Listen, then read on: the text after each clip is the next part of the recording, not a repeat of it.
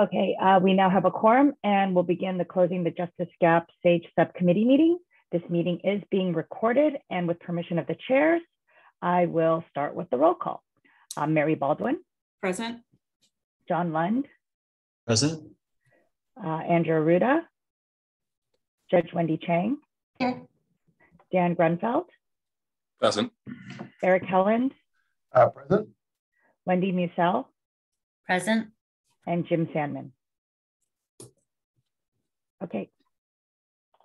We are good to go. Um, Okay. So I think our first uh, item is for is uh, public comment. Is that right, Mimi? Yes, yes. If you'd like to give public comment, you'll be given two minutes. Um, please use the raise hand function and I'll call on you and give you permission, the ability to speak. And we'll start with Ira, Ira Spiro.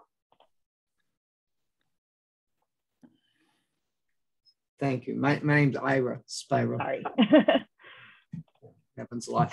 Um, I'm a uh, member of the paraprofessional working group that's kind of working uh, alongside you all. Um, and uh, I'm a former member of the uh, what's uh, loosely called the Legal Ethics uh, Committee of the State Bar, uh, Com- COPRAC, Committee on Professional Responsibility and Conduct. Um, and I have a question that uh, I, I want to pose to all the members of your working group. Um, and, and I think everyone listening, the whole state would, would like to know an answer. What, what is the justification or what could it be for allowing people or, or organizations uh, to control or own in any measure a law firm if those if the people those people are not subject to the same uh, rules of professional responsibility and other ethics uh, laws uh, that lawyers are uh, responsible for, are held to. On the, I want to point out that in the paraprofessional uh, proposal that we issued, our, our working group issued last month, the paraprofessionals sorry, are all subject to essentially the same legal ethics requirements as lawyers are. So uh, that's a sincere question, and I hope that, that uh, all of us get an answer to. Thank you.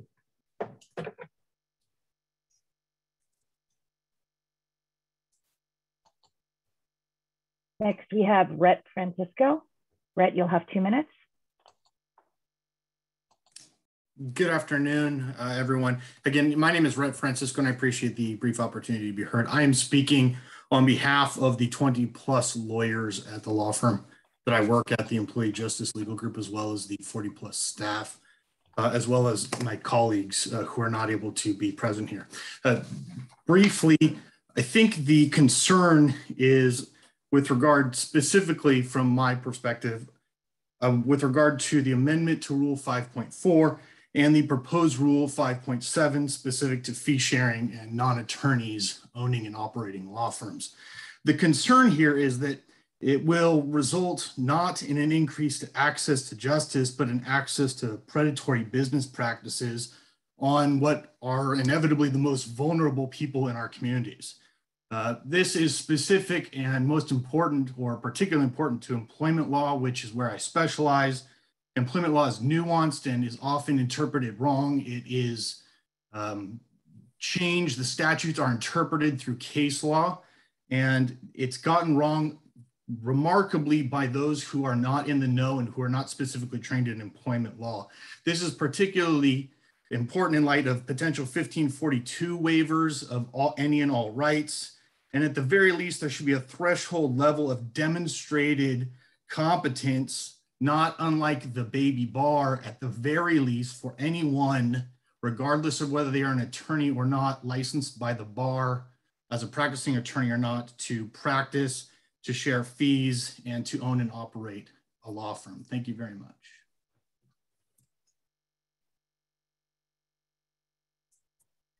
Um, is there anybody else who would like to give public comment? Please use the raise hand function. Otherwise, we'll move on with the rest of the agenda. Uh, we have uh, Randy Johnson. You'll be given two minutes to speak.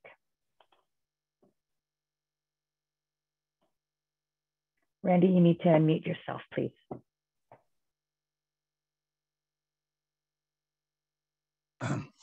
Sorry, everybody. I had to unmute myself and uh, I'm right in the middle of a meeting, but I thought this was very important that I come and raise my objection to this whole thing. I first heard of this whole situation in Las Vegas. I've emailed 20 of my friends that I went to law school. Nobody knows that this was going on. I think that what you're what's going to happen here, you're going to cheapen the profession. I have been in this business for 25 years, and some of my colleagues are on the screens now. Um, people who know me, I just, I mean, I worked really hard to get through. The, it took me a long time to get through law school, a long time to get through the bar. I took the baby bar, and now I see this paraprofessional program coming up and it's that's just, it's just the back door, guys. It's the back door to, to come around and get us from the back and take away our business.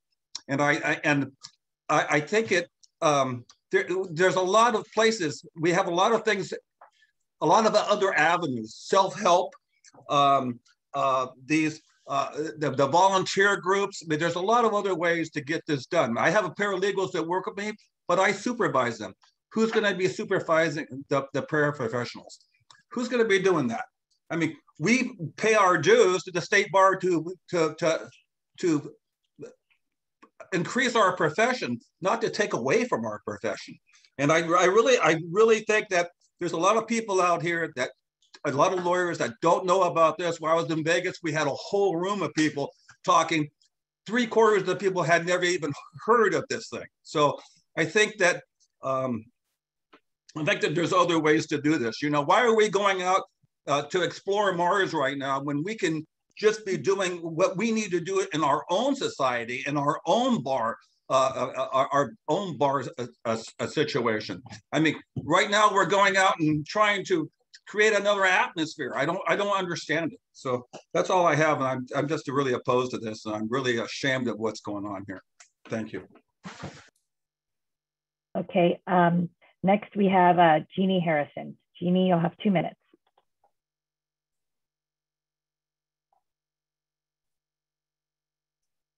Jeannie, are you with us?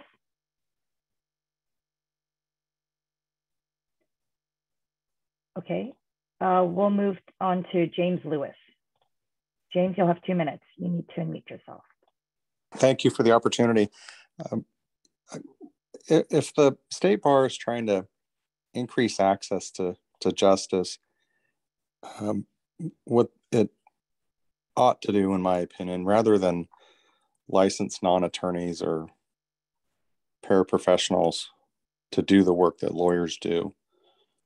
Um, I'm not one to suggest that the state bar impor- impose more requirements on its members, but akin to the state bar asking that we or mandating that we uh, put in 25 hours of continuing legal education over three years. I think that model is something that you can transfer or apply to a pro bono practice. I don't think you'd have much objection from the members if it were the state bar were to mandate five or 10 hours whatever it might see fit after some research of pro bono work by its membership that can be easily certified by any number of nonprofit organizations. Here in Sacramento, there's the Northern California Legal Services Office, which is in desperate need of, of attorneys to do work for it. And there are numerous other clinics like that that can easily certify that this particular attorney has contributed the requisite minimum number of hours I think that is a great alternative to licensing non lawyers to better serve the underserved members of the public. Thank you. Okay. Um, next, we have, uh, let's see, James Lewis. Oh, did we just have James Lewis? Sorry. Uh, Jennifer Kramer. Uh, you'll be given two minutes. I just unmuted myself. All right. Yeah. Awesome. Um, so I just wanted to start by saying, you know, it's throughout my career as a lawyer, and I've been practicing for over 21 years, it's always been emphasized as a lawyer that we, the importance of ethics in our profession in order to provide a safeguard to the public. Uh, it starts in law school when you're required to take ethics classes. It's required to become a lawyer. We're required to pass an ethics exam. And it's required every few years, and we're required to take ethics classes. And it's overseen by the state bar. And I'm concerned about opening up the practice of law to individuals who are not working under those same constrictions. I'm also, as a contingency fee lawyer, um, we spend a large part of our practice talking to the public for free. We do free consultations with people to talk to them about whether or not they have a case. So we are providing a service to individuals um, free of charge. Uh, most of most plaintiffs attorneys in the state will tell you the same thing. They'll talk to somebody for at least an hour about their case to decide whether or not to take it. And then third, I have a concern about um, opting to a model of um, addressing the concern about access to judges justice to opening up to for-profit um, companies rather than focusing on nonprofits who have, have a demonstrated track record of um, servicing low-wage workers and um, uh, other at-risk communities in, in, in the state. Um, so thank you for your time. And I would urge you to look at other alternatives other than going down the road that you're going down now. Thank you.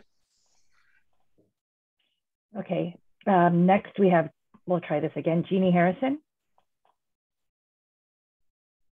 Okay, can you hear me? Yes. Ah, great. All right, thank you so much. Um, Jeannie Harrison, and I am president of Consumer Attorneys Association of Los Angeles.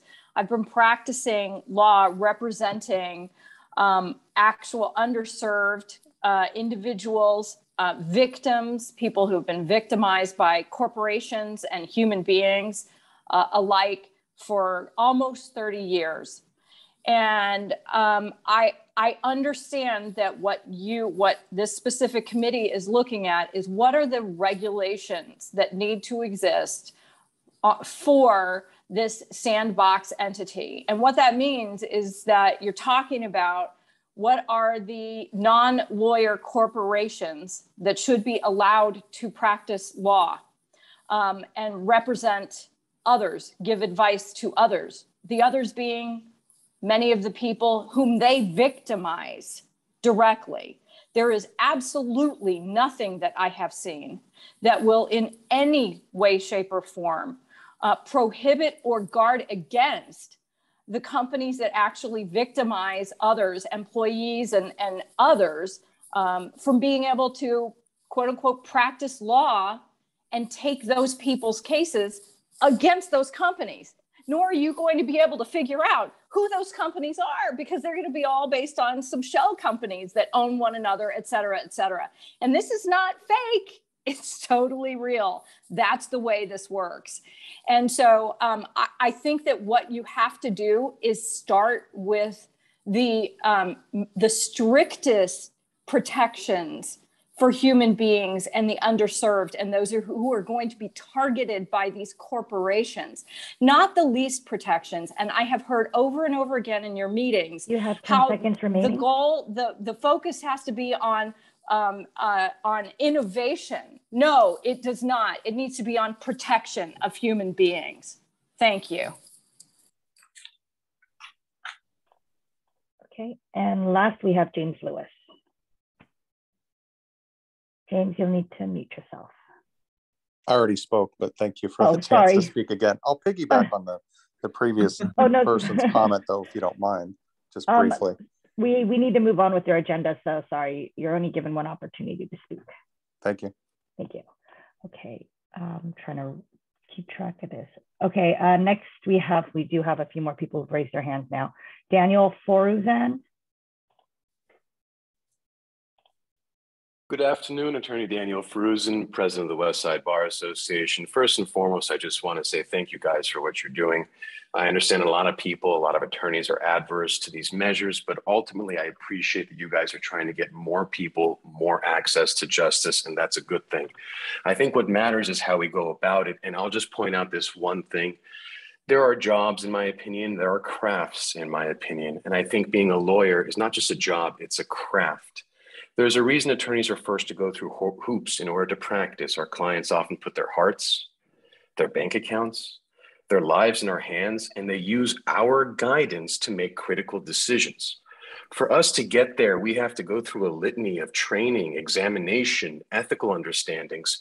And a lot of these ethical questions come into play whether you're you know directing a client in terms of what they should do or whether you're holding their funds into a trust I think many of the measures we're discussing today, whether it be the paraprofessional, whether it be allowing for profit entities to own law firms, a lot of these measures are going to water down the craft in a manner that's worse for everyone, including the people we're here to serve.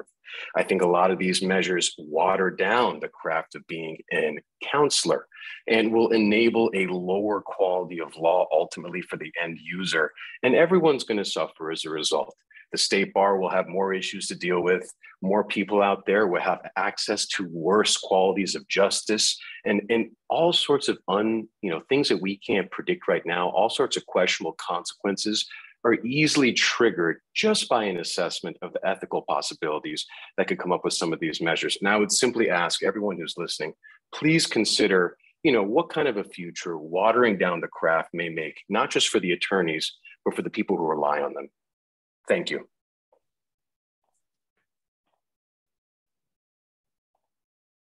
Okay, um, next we have uh, Glenn Kenna. Good afternoon. Thank you for giving me this opportunity to speak. Um, I'm a plaintiff's personal injury attorney in Sacramento, and a large part of uh, my client base are, are, people who are underserved, who are on public benefits. And, and what I see across the board is that, that they don't have legal savvy. Um, they rely on their lawyers and these contingency fee situations to, to have their best interests. And that's something I spend a, a large part of my day thinking about. And I think everybody does. You know, what's ethical? What is best for these clients? And so when I look at the the proposals here, and I, I see the the working group kicking around allowing for-profit businesses and non-lawyers into this space where where we are helping these people. It fills me with dread because they don't have the same ethical duties we do. They aren't going to have the best interests of these people in in mind and at least as far as contingency fee cases go, um, we don't we don't charge these people. We don't if they don't recover money, we don't recover anything. So that there's not a, a gap in, in the ability to pay for services in this space.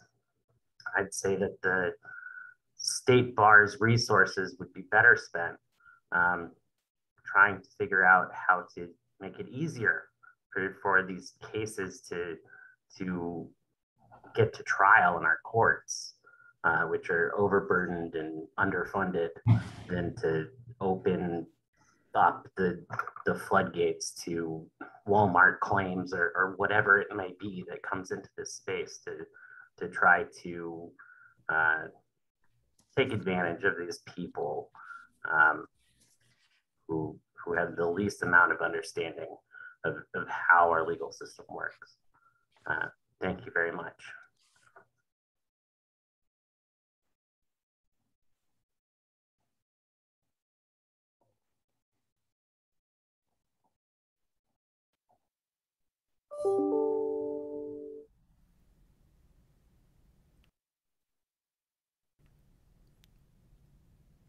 Miss Lee, you're uh, you're muted. No one can oh, hear. Sorry, Sorry about that. I'm Ebi Bakhtiar. Thank you. This is Ebi Bakhtiar. I appreciate the time. being a, a, a, plaintiff's attorney for over 20 years now, my entire practice has been dedicated to serving uh, injured, predominantly employees uh, who have been discriminated against or who have suffered some type of um, termination that, that is illegal. Um, majority of my clients are Latino. They either don't speak English or speak broken English, and they rely wholly on my decision making. Um, and what concerns me is particularly in light of the most recent revelations about platforms such as Facebook that were revealed just in the past couple of days, that allowing, and also not to forget the most recent scandal that's arisen out of a very well-known, well-reputed large law firm um, in Los Angeles, you know, allowing for-profit corporations to enter into this space will only compound these risks because there's an inherent conflict of interest between a for-profit corporation and the consumer at large. So allowing non-lawyers to practice into the field of consumer protection laws I think would be disastrous, not just for you know lawyers who are already in this field. I don't think that they will really compete with trial lawyers who are skilled and know how to take cases to trial. Um, I think what they will do is they will monopolize the industry, taking the information that is very critical to the consumer and shaping and molding that in such a way where the consumer is misinformed. And that is the worst thing that could happen for consumers if the purpose of the bar is to allow them or afford them more access to justice. There are plenty of nonprofit organizations that are here for consumer protection, in addition to the contingency fee lawyers that are under strict guidelines of the bar for ethics and attorney-client privilege and all sorts of other other um, regulations that we have to abide by. That you have 10 seconds remaining sure that the for-profit corporations will not have to abide by. And if one is penalized for doing something wrong, they can easily rename and come back into the field and no one will know who's involved. This is a very dangerous path up. that you're following. Thank you. Okay, and last we have uh, Mark Rusikoff. Good morning, I guess good afternoon. Thank you for the opportunity. Um, I think it's great that the bar is trying to democratize the law and give access. And we're all in favor of that. And I think someone previously mentioned requiring pro bono might be an excellent idea. But I think along the lines what everyone else is saying is when we allow non-licensed professionals and for-profit corporations to get involved, you have a lot of problems that are going to happen. I mean, all day long, I listen to people both in contingency and hourly matters and I turn their cases down because I think they're frivolous. I think that if you let people that are or corporations as well that are worrying about profits, I do think they're going to take cases. I think they might be a race to the bottom on pricing. No longer a contingencies one third, we're doing them at 20%. Then it gets to the point where people are just taking cases just to take cases to make money. I, I think it's going to be very difficult to regulate this, particularly when you're dealing with nonprofit corporations. And instead of having these referral agencies on TVs, we might have these large conglomerates doing contingency work, hiring tons of attorneys and saying, you need to take this case, you have a quota. I think we're going down a slippery slope and it can be dangerous. Thank you. Thank you. Okay, we can move on with the rest of our agenda now. Okay, great, Mimi, thank you. And thanks to everybody who gave public comment. Uh, announcements. Do we have any announcements? Uh, I don't think so. So let's go on to staff report.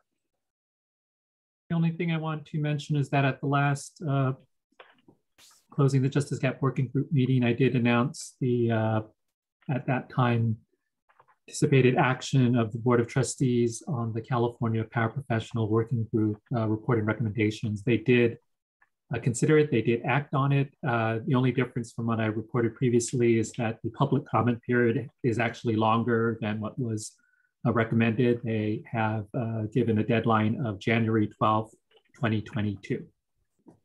So if your uh, concerns and your interest is with regard to that particular initiative, uh, you have until that time to submit your written comment to the State Bar. The other thing I'll mention is that we have confirmed one speaker for the next meeting of the Closing the Justice Gap Working Group, which is scheduled for October 18th. And that speaker is uh, Stacy, Professor Stacy Butler, who's the Director of Innovation for Justice, University of Arizona School of Law, also with the University of Utah School of Business. And so look forward to that uh, presentation at our next meeting. We're actually working on another speaker as well, but uh, we have yet to confirm. Thank you. Okay, thanks, Randy. Um, then next on the agenda is the approval of the open session action summary from the August 25th, 2021 meeting. Is there a motion? So moved. Okay, a second? Second. Any discussion? Uh, Who right. seconded it? I didn't, um, I couldn't tell by the voice. That was me, Wendy. Okay, thank you, Wendy. All right, um, I'll take the vote. Um, Mary Baldwin, Aye. John Lund, Aye. Andrew Arruda, Aye. Judge Wendy Chang, Yes. Dan Grunfeld, Aye. Eric Helland, Aye. Wendy Musell, No. Jim Sandman. Aye. Thank you. Okay.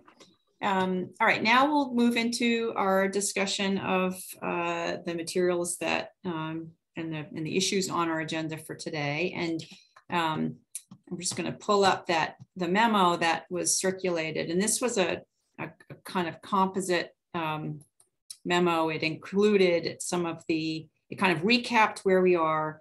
It uh, includes some of the materials that were, uh, or the issues that were held over from last meeting. Um, and then it also presented some new uh, information that we're going to consider today. And I really thank the staff, in particular, uh, Bridget and Randy, for their work in getting this done.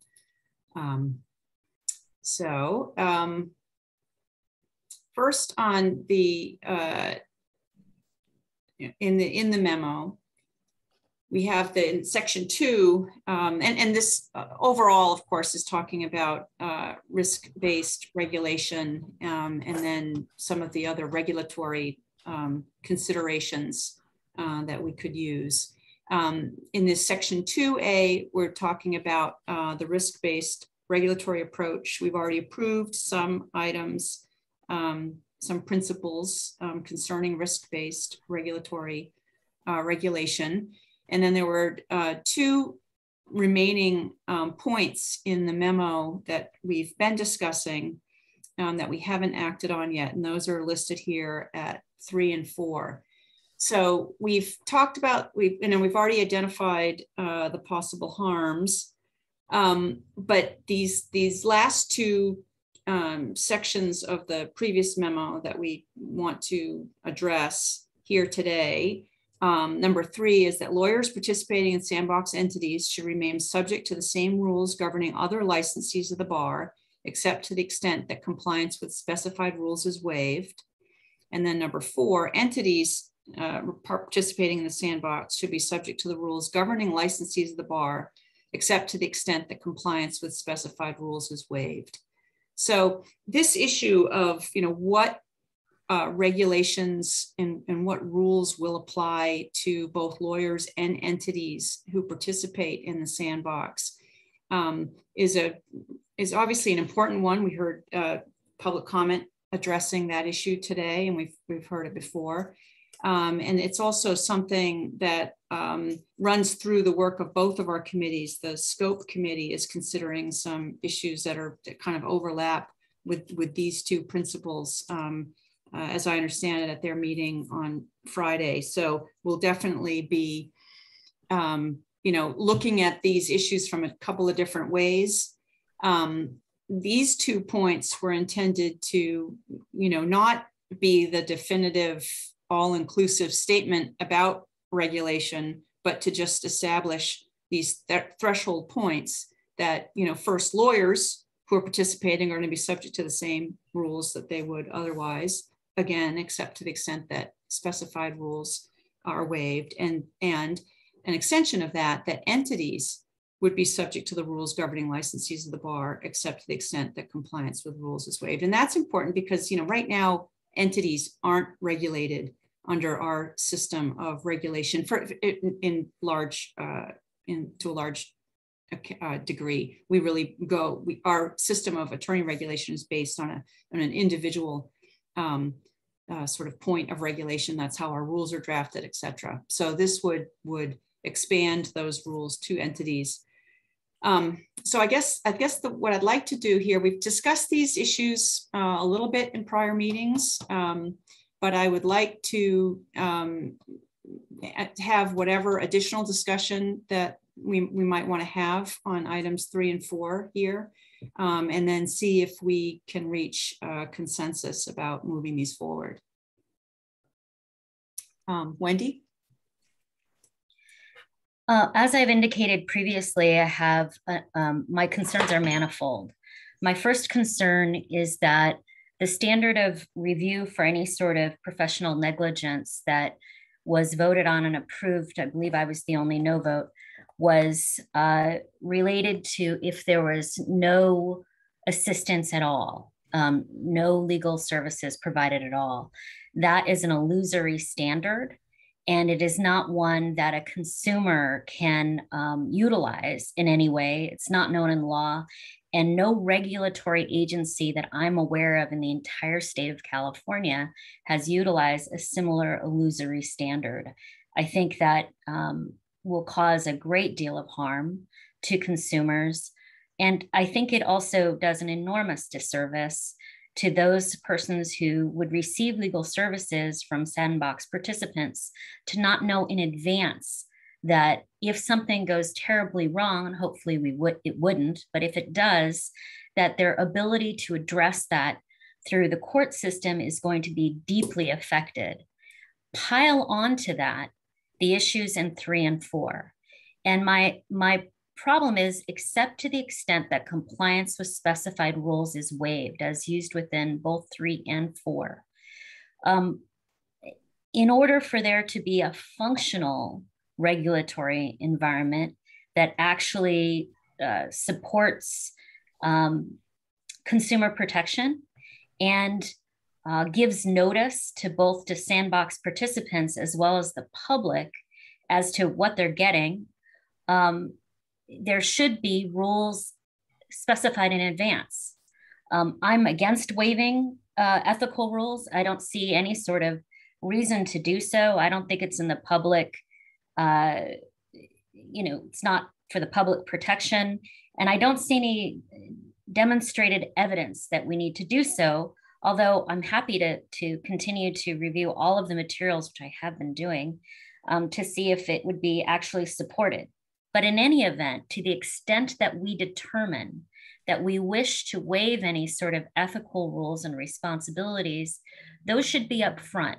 So if I'm a consumer and I'm looking to hire someone to perform legal services, I know if I'm getting apples or oranges.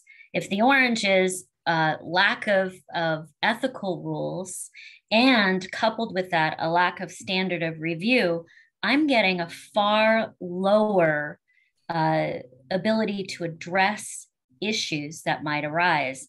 And some of these ethical rules have been created over time with the experience of the state bar and their support, it's it's surprising to me that we're actually here um, at this juncture. But some of these rules are are just integral to having um, competent legal services that keep your client involved and informed, such as settlement issues, such as um, you know if problems occur uh, some of the rules that were listed as possibly waivable go to the very heart of the relationship with the client. And there doesn't seem to be any discernible, legitimate reason in order to waive those. Uh, I think we would need a lot of review of those particular rules and why we would wish to waive them. But in any event, it seems to be if we are thinking about waiving rules on a case by case basis, um, that doesn't provide any notice to the consumer. It also doesn't provide a level playing field for all of those individuals providing legal services, including those that are participants in the sandbox. Doesn't seem to make any sense to me. Um, it also, as I've raised in prior meetings, I think there's a major issue here with the legislature and the role of the legislature. What it appears that is being proposed here is the legislature would have no role in which rules would be waived on an ad hoc basis. It seems to me that if you have a, a regulator who can decide on an ad hoc basis what rules apply and what rules don't, you really don't have a, a system of law at all. Um, I can't imagine that other areas of consumer or environmental protection would be uh, performed in this manner. I also think that it runs afoul of the uh, relative duties and powers of the legislature as well as the court system. The legislature uh, does have a role here, and the legislature has made it very clear, and I've communicated that this is from the legislature, that um, having rules that would be waived on an ad hoc basis that the legislature does not have an ability to weigh in on does infringe on their powers. So, for all of those reasons, um, I oppose the way that three and four are currently written. Okay, Wendy, let me just ask um, if if if it were clear that we that these two resolutions are not intending to suggest that there be an ad hoc determination or that uh, and, are, are, not intended to abrogate the legislative role in determining any waiver of you know rules or statutes. Would that would that address your concern? Well i think we would have to back up for a second to say we're going to create rules whatever those rules are going to be. Uh, we may have disagreements within the, the sandbox uh, participants and members, uh, what those rules ought to be, but we ought to have it up front, not on the back end. So up front, we ought to say, these are the rules that are going to apply. And we can all weigh in on it. I'm sure uh, there may be differences of opinion, but just knowing what the rules are up front and that the legislature has the opportunity to say yay or nay as to these are the rules that would apply to this new entity, I think that's what's required. Um, and so, you know, just if that getting, were clear, would that would that take care of, of some of your concerns then with respect to these two two? Some of the concerns. Then we get into so that's the overarching um, structure then we get into the weeds, which is which rules apply and which don't. Well, yeah, but I just want to point out that, that these these two, and that's that's part of what I'm trying to communicate. So we see if we could uh, address some of your concerns and or, or allay them. These are not purporting. We're not purporting at this point to be making any kind of recommendation about which rules might be waived or how that waiver might take place and be accomplished my understanding from reading all of the materials and prior, uh, including today's and prior materials, I haven't been sitting on on my my time here. Um, is that the the plan is to have an ad hoc decision per application as to which rules would be waived. That is present in the application that was presented in either the last meeting or the prior meeting.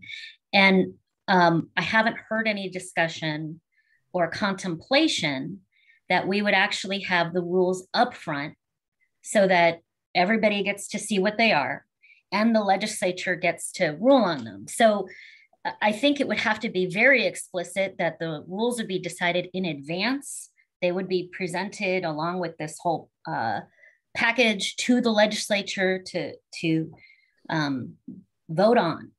Um, but that, so I think, I don't know if a, a, small edit to three and four would get at it. I think it has to be uh, explicit in all of those ways.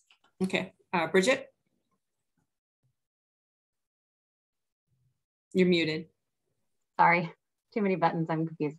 Um, thanks. I, I think you you covered it, Wendy. And just as somebody was that was putting these resolutions together, we know there's going to be debate about what rules are subject are going to be even subject to waiver.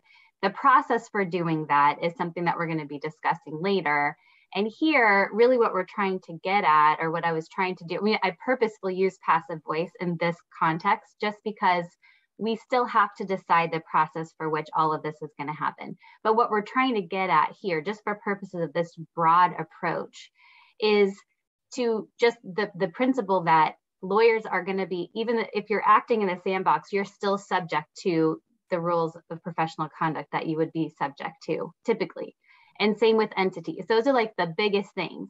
The way that the rules are going to be waived, the consumer protection, the disclosure, the things that you were talking about, like being concerned about consumers, we're going to talk about that today. And I really hope we can get to that discussion because this, we just haven't had a chance yet to really get into the mechanics of the way that the sandbox is going to be operating. And that's what I really want to make sure that we have time for today. So our plan was to talk about this as an approach and then get into how, what are we concerned about and how can we design something to ensure that consumers are protected and that they are aware of what's happening. Those are the kind of, this is a different way that we typically regulate. So we want to start getting into those questions as well. So just to kind of explain how I was trying to tee up this memo was big picture, everyone's subject to the rules. And then the, that's just really what we're trying to get at right here. So I just wanted to explain that as far as like what we were trying to tee up for a vote. Uh, John? I just wanted to observe that if, if we were to take the approach that I, I understand Wendy's suggesting and you know not even consider waivers here and simply spell out that lawyers are subject to the rules of other licensees of the bar and so are entities, we'd essentially not have a sandbox. Because one aspect of those rules or another is essentially what we're talking about altering in order to explore and it is just an exploration. It is just an experimentation. It's it is a interim testing of these things and it is just to be able to explore what happens with this and and develop actual data around that idea that if, for example, with Holy Cross Ministries, which is the example that's attached, we have non lawyers helping advise on a bilingual basis about medical debt issues to people who, you know, to Wendy's point, otherwise don't have any legal representation. Th- that's the whole point. And to let that be tried by non lawyers in that discrete area with the articulated oversight by lawyers that is spelled out in the order is precisely the type of innovation that we are trying to allow to be tried. And I think that um, to, to write out the waivers entirely, or, or for that matter, to suggest that the legislature would be involved in a very, very narrow question like should, should in the context of you know medical debt advice for not for bilingual people should the otherwise lawyer requirement that lawyers do all of that be relaxed to allow non-lawyers to do some of it with lawyer oversight. I mean, I I do not understand this authority of the legislature to extend that far into what I understand to be the Supreme Court's authority to regulate. So I, I think we've got to find a way to state this principle and understand that it's going to have to get um, fleshed out in in uh, in the days ahead, as opposed to writing a set of rules now that, that are waived. Justice Tucker. Thank you. May I ask for some clarification on uh, issue number four here, that entities participating in the sandbox should, should be subject to the same rules governing licensees of the, of the state bar. Um, my question goes to um, Mary, you made the point that our current rules um, affect individual lawyers and don't say much about responsibility of entities. So I'm not quite clear what it means to subject sandbox entities to the same rules um, as rules that don't address entities' responsibility. Does this mean that the individuals in a sandbox who are providing legal services are subject to the same rules as lawyers would be, unless, of course, there's some exception written into it. So that, for example, the individuals providing medical debt counseling would have an attorney-client uh, obligation to, uh, I don't know, exercise competence and uh, not negotiate with away rights without the client's uh, authorization and um, protect protect confidentiality and all those sorts of things. Is that what we mean by number four, or do we mean something completely different? Uh, I I believe that the way you just described it is how it would it would work. But um, Bridget, I don't know if you want to add to that. Yes, I think that's right. And we we added a little footnote there, um, footnote three, if you want to scroll down. It's an example of a statute that does try to get at what we're trying to get here. There's a statute that says law corporations need to be bound by the statutes and the rules. So it would be something akin to what's already in the um, Business and Professions Code um, you know, that applies to law corporations. There's a part of it that it talks about law corporations. And, and so it would be a similar um, concept. Does that make sense? Well, I've never, I, I, don't know anything about how 6167 is applied in practice, so I didn't understand what the footnote. Oh, I see. I just, uh, we were just trying to show that there are statutes that do try to get at this concept, and we can clarify as we as we go. Um, how that might happen. I know we're teeing up a discussion for you know responsible individuals, and I think the framework that you just described is is a way that it could work. But um, do you think we should clarify that in this resolution how it might be applied? I think if everybody understands what the resolution intends, uh, that you don't have to change the language. But since I didn't, I asked the question. And so I, I, appreciate the answer. I'm not asking for any changes to the language. That can always be addressed later when we write a report. Um, but I, I, just wondered what, what was meant. Okay. So thank you for your for your response. Sure. You know, one one other thing I wanted to clarify before I move on to back to Wendy's point. I I, uh, my vision for this is I don't think there's any reason that with respect to both of these when we're talking about specified rules that we would we would get to a discussion where we could say upfront like this is the range of rules that the sandbox you know that the um, working group recommend are on the table i guess so to speak you know? And i'm not sure john if that's how they do it in utah but i can envision to say okay let's go through the rules that we think could be implicated we can list those up front and then the you know kind of akin to what you saw in the um, example that we gave for the um, now I can't remember what the name of the group is. You just talked about it, but the the um, the applicant, yes, Holy Cross. Um, you can see how okay now based on what they want to do, we will only waive this rule because this is the rule that they are you know that they're struggling with you know so it would almost be like there would be a broad range that as i don't think i don't think we're going to we're ready for that discussion today. But my vision is eventually as we're trying to get through these parts we could as a working group decide on the range of rules that might be waived in the sandbox. And then the more specific um, determination can be made according to principles that the legislature and the court and you know whoever else kind of agree like this is the process for which the regulator would make the determination and the recommendation as to whether the specific rules would be waived or not. So I just wanted to, to put a little bit more meat on the bones of what will happen eventually um, as far as the discussions that can be had and the, and the recommendations that can be made. Uh, Eric?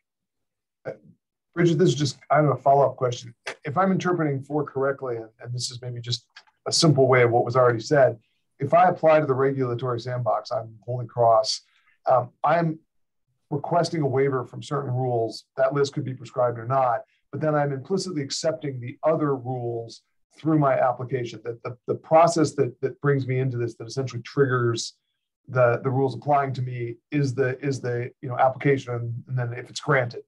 So that, that we're just saying as a default, whatever you don't request a waiver from whatever that list is, the rest of it applies to you. Is, is am I understanding that right? Yes. And Randy, if you wanted to jump into, maybe you can do a better job than I can is, is explaining the footnote. That, but um, uh, sure. as far so, as yeah.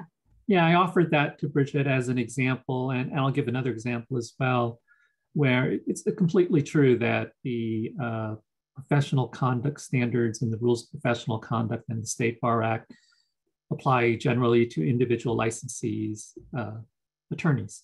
Uh, they also can apply to entities, and the law corporation rules um, and the statutes uh, require the law corporation to abide by certain standards that are very similar to what an individual lawyer himself or herself would have to abide by. And the law corporation, unlike uh, a law firm that is not incorporated, is actually certified by the state bar. And so if the law corporation fails to abide by a standard reflecting the rules of the State Bar Act, then the enforcement hook that the state bar has is to involuntarily revoke their certification as a law corporation. And since law firms generally are not uh, regulated in that manner, you don't have uh, application of the rules to law firms writ large. We don't have a, a law firm discipline. It's been something that's been looked at over the years, but we don't have that. But a law corporation is certified, and the statute reflects that we can hold the law corporation to conduct standards, with the penalty being that their uh, status as a certified law corporation can be revoked. I said I'd give a second example. Uh, the Office of Professional Competence administers the regulation of certified lawyer referral services. One of the rules governing a certified lawyer referral service is Rule 3.829 publicity. Paragraph B provides that any publicity by a lawyer referral service must comply with the California rules of professional conduct and any other legal requirements. Again, a lawyer referral service is not an individual lawyer licensee, might be a nonprofit, might be a bar association sponsored program, might be a for-profit operation that engages in online uh, lawyer referrals for a profit. Uh, but those entities are subject to the rules governing lawyer advertising in the same manner that lawyers themselves are. And while a lawyer might be disciplined under the analysis that an LRS, a lawyer referral service, is advertising on their behalf, and so you can discipline the lawyer. The hook or enforcement against the LRS is if they engage in advertising that's contrary to the rules of professional conduct, then 3.829B is violated, and that would give a basis to revoke their certification as a lawyer referral service. And in California, unless you're certified, you cannot engage in lawyer referral activity. And so, again, just two examples where um, we have precedent for applying attorney conduct standards, which normally apply to individuals, to entities, law corporations, LRSs. And as Eric was saying, this is really just the segue to the to the aspect of the sandbox that John emphasized that if you're trying to engage in innovative delivery systems, then you might have to waive certain uh, requirements to test those but you have to have the foundation of that, which is you have to be bound by something. And entities ordinarily are not bound by the rules unless you're a law corp, unless you're an LRS.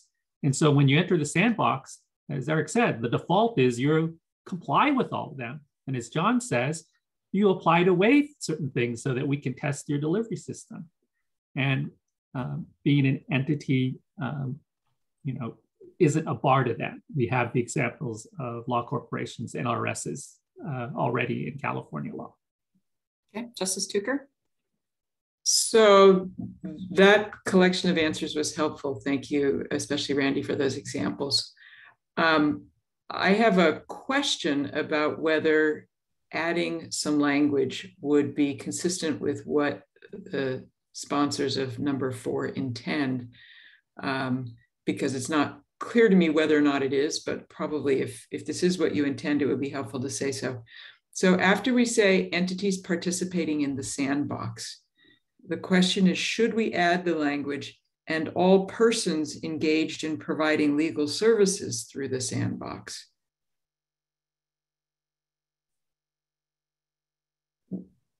Comma, whether or not they are lawyers, comma.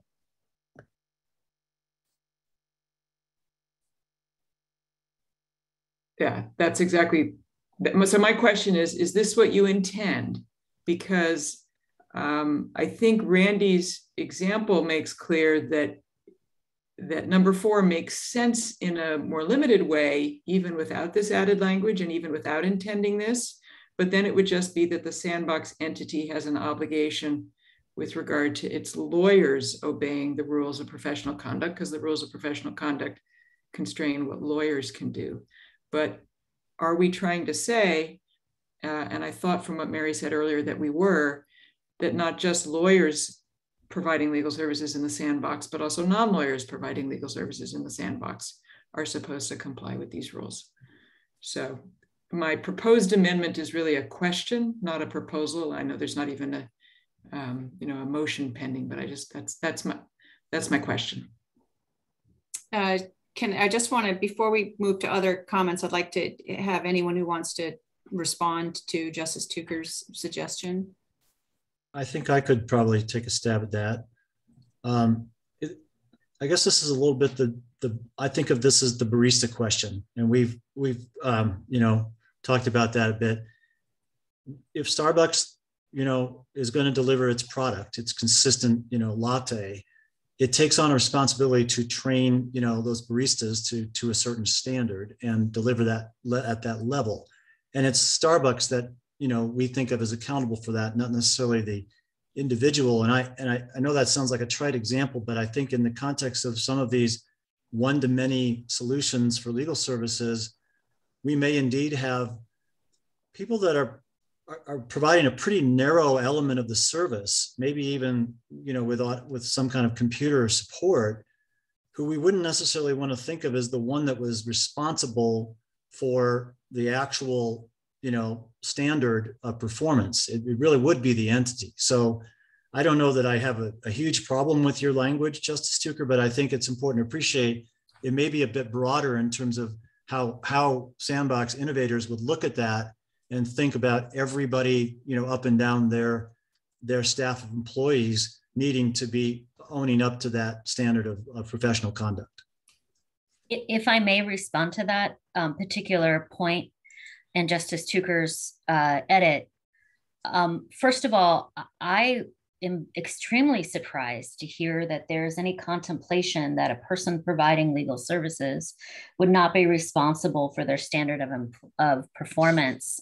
Um, that's unheard of when it comes to attorneys providing legal services and uh, would be a substantial departure from where we are today, such that um, I, I could not support that. I don't think that would be a supportive of uh, uh, any consumer rights. But in any event, I, I like the change that Justice Tucker had made. Um, my concern would be addressed for three and four if the sentences ended up with other licenses of the bar, period, and then add a five to say we were going to determine in the future uh, which rules and how uh, ought to be waived and when, um, if that's indeed what we're doing. Because if we really are not making those decisions now, but we really are going to evaluate that, um, then I think that would be a more accurate representation of what we're doing today. Um, okay, let me just say that, uh, Wendy, your point that this would be a substantial departure from where we are today. That's not exactly true, of course, because right now, staff, you know, non-attorneys in law firms or law organizations, they are not actually held to the standards that lawyers are held. The rules don't apply to staff members right now. So actually, number four, this, this would be a substantial departure it, it, it, to, ha to have this language as I'm not taking uh, uh, suggesting whether it's this proposed language that's proposed amendments good or bad, but I just want to point out that this that language would be a substantial departure from where we are today and not what we currently require in in uh, law firms and law organizations now. Um, Andrew uh, Tuft. Uh, just really quickly, I think the focus on this language of three and four for me is um, what is the ramification um, for either a lawyer or the entity uh, violating, um, let's call it the rules of professional conduct. So I read three to say, although you're a lawyer, you're currently a lawyer, licensee of the State Bar of California, and you're participating in the sandbox, you are not absolved of your obligation to comply with the State Bar Act and the rules of professional conduct. And if you were to violate those obligations, while operating in the sandbox, you are still subject to discipline through the Office of Chief Trial Counsel, and State Bar Court. And then I agree with Randy when we turn to four, entities are not disciplined, but you could have your sandbox badge and certification revoked if the entity fails to comply. So that is the quote unquote threat of violating. And so the language here of adding all persons engaged to provide, I don't know that we could scoop those non lawyers up and bring any disciplinable ramifications to them for failing to comply. And so I think John has it correct. The entity is going to have to be responsible for those non lawyer employees. To they're going to have to have a really good training and oversight um, protocol because if any of those individuals screw up, it's the entity that's on the line and they might be removed from the sandbox for failure of any of those persons uh, who are now being described in this added language. So long-winded way of saying, I think for in my mind, three and four work as drafted if we are focusing on the ramifications for violation.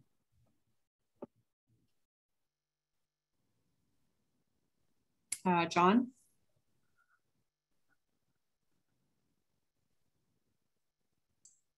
I'm wondering about Wendy's suggestion of maybe adding a five here. I, I would think about doing it in terms of leaving three and four the way they are. And with respect, Justice Tucker, not, not using that language that you, you suggested, but then having five be in a rather explicit statement about the intention to work through the waiver, you know, the specifics of waiver and the mechanics of waiver at a later date, just so that piece isn't somehow or another being misinterpreted at this juncture.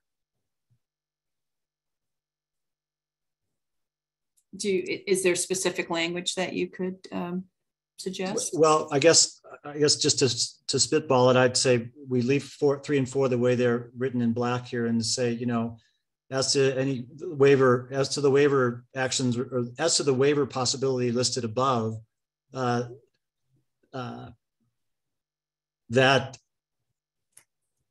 should occur through you know appropriate collaboration between the regulatory agencies eh, or, or between the court and the legislature, however it is that we want to say that as needed.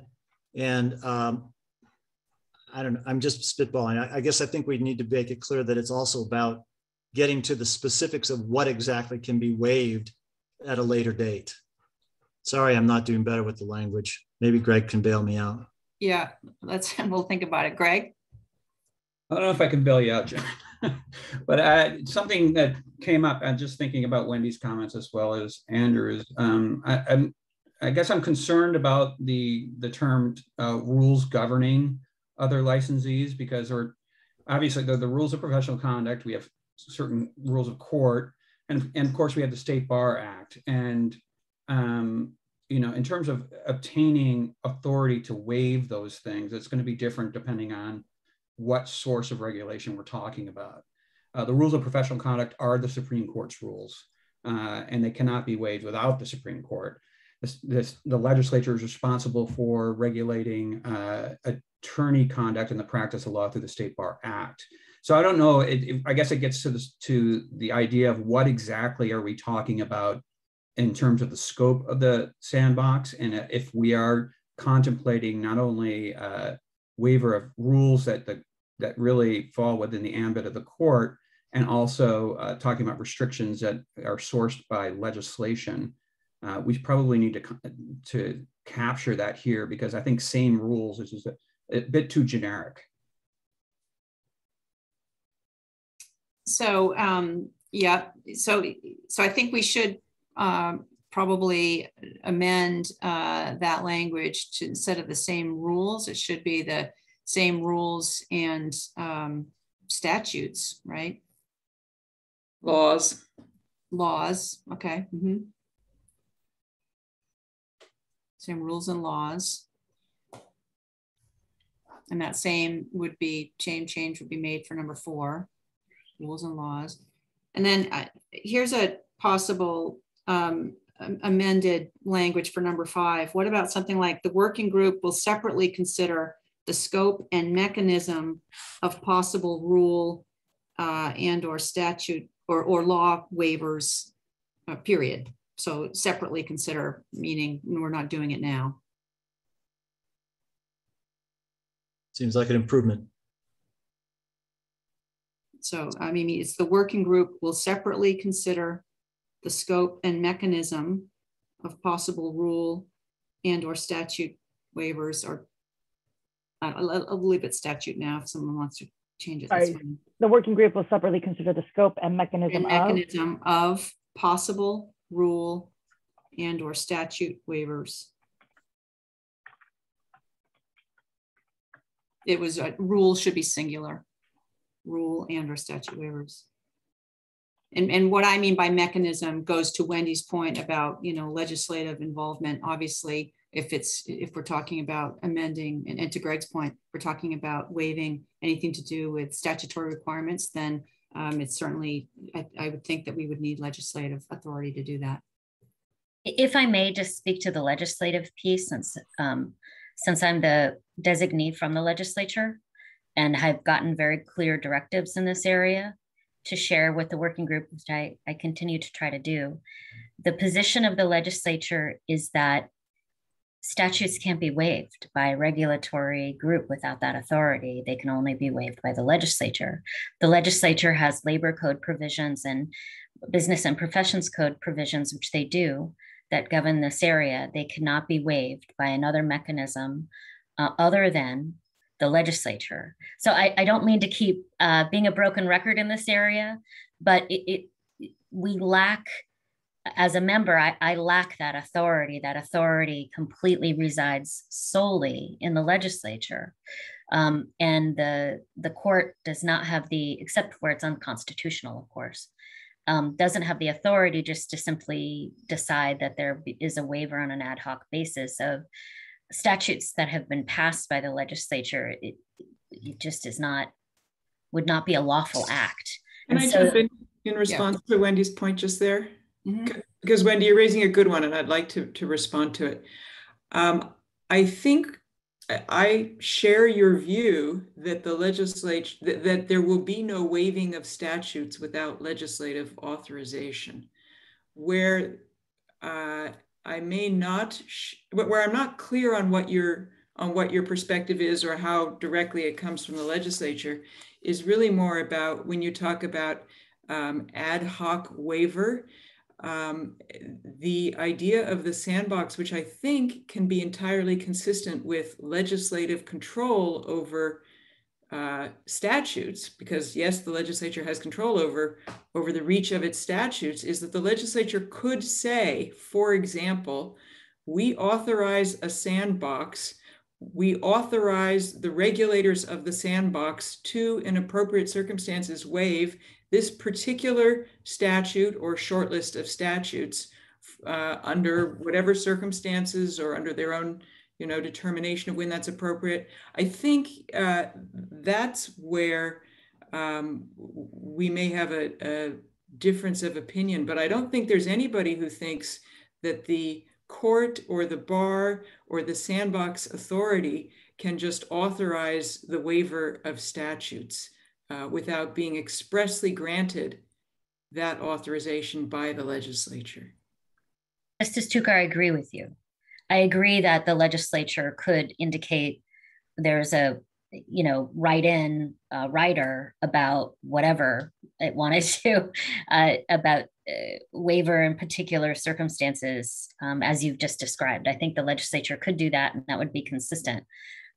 So I, I don't think we disagree about the ability of the legislature to do that or to divest themselves of, of, of that to a certain degree, assuming that they take that action.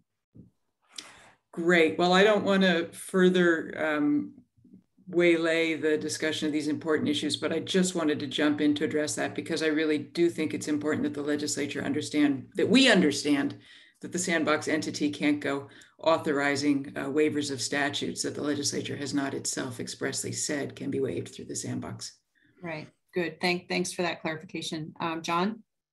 Mary, unless there's more conversation, I was just going to maybe put a motion on the table so that we could sure. uh, address this. And my motion would be that we uh, adopt three, four, and five as submitted, with the exception of the Justice Tucker clause um, about other persons. Um, and I'm, I guess, open to further discussion about that. My motion would be to, to leave that part out uh, and move ahead without it.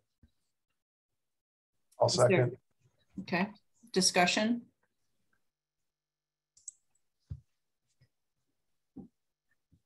It probably comes as no surprise that I would oppose that. Um, I think we need to, again, I would agree with the sentence ending at the bar on both three and four. And then uh, I like Justice Tucker's edits. I thought that they were appropriate. Um, and uh, and I do appreciate having a number five. Any other comments?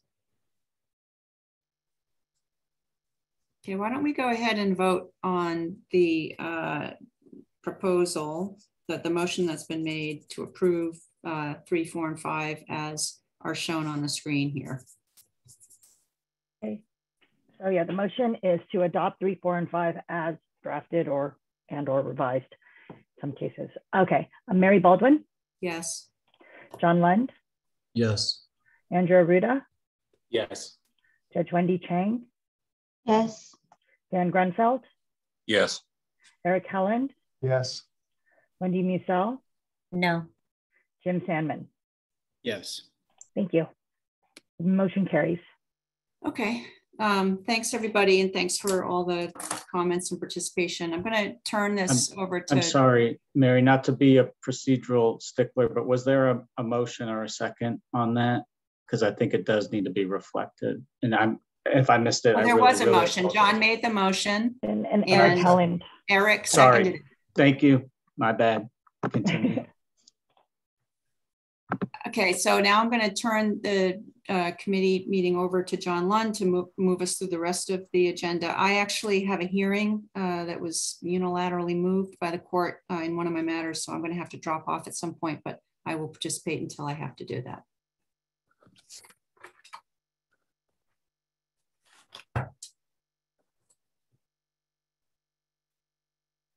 Okay, just getting up the, the memo, which I, again, would like to say thanks to Randy and Bridget for putting together those materials for us. Um, The, the next subject to turn to, it would be, um, oh shoot, I've got the wrong memo up. No, I don't. Here we go.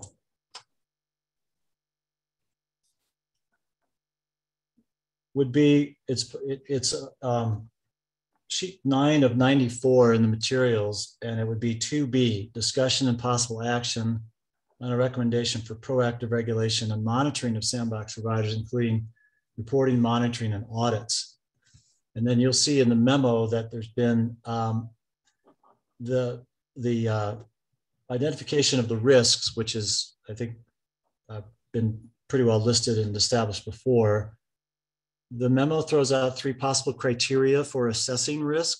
This would be at the front end as, you know, as the applicant comes in the door, we don't know yet anything about it other than what they describe as their proposed model.